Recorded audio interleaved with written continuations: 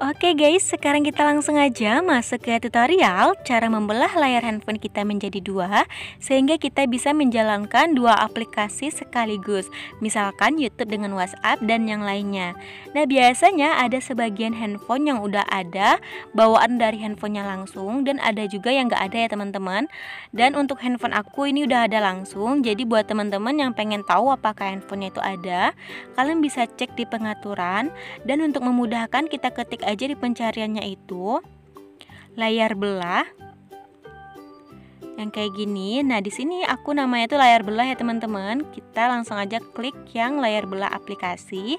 Nah, ini untuk cara mengaktifkannya aku tinggal geser jari aku tiga buah aja di layar handphone aku atau dengan menahan tombol multifungsi atau yang lainnya ini ada gambarnya ya, teman-teman cara penggunaannya. Nah, langsung aja aku coba sekarang. Jadi di handphone aku ini ada ya guys. Kita coba, aku bakal buka Facebook dan aku tahan di bagian tombol multifungsi. Nah, aku bisa pilih mau aplikasi apa yang aku buka. Misalnya di sini aku buka YouTube ya. Dan sekarang aku udah bisa membukanya sekaligus. Nah, buat teman-teman yang nggak ada di handphonenya karena nggak ada bawaan dari handphonenya langsung, kalian bisa menggunakan aplikasi di Play Store. Nama aplikasinya itu adalah Split Screen. Kalian bisa downloadnya, uh, cek linknya di deskripsi aku untuk memudahkan kalian. Nah, ini aku udah masuk ke aplikasinya. Langsung aja kita aktifkan dulu aplikasi Split Screen-nya. Nah, ini di bagian layanan yang diunduh kita aktifkan. Ini klik OK.